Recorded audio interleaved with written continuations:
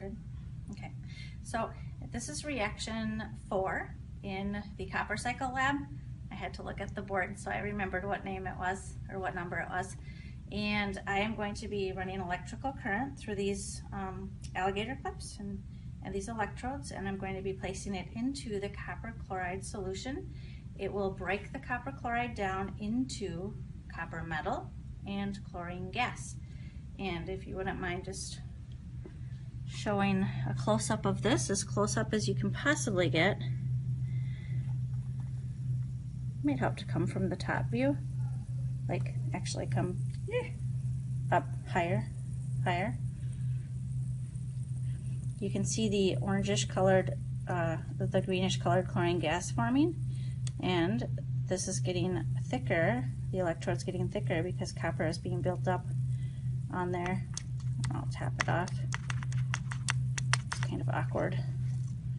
There, a big chunk of it fell off, so there's your copper metal. And again, you can see the chlorine gas.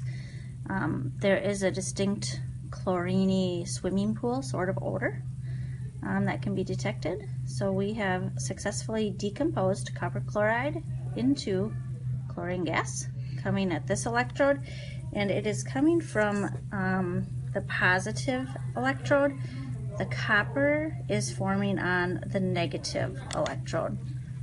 So sounds like there's a ruckus in the hallway. So decomposition reaction and that's the conclusion of that. Sorry about the positioning of the uh, camera.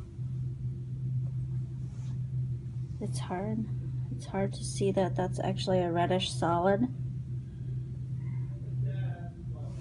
Um, you can, it's not getting picked up so well in here, but that is a reddish solid. Okay.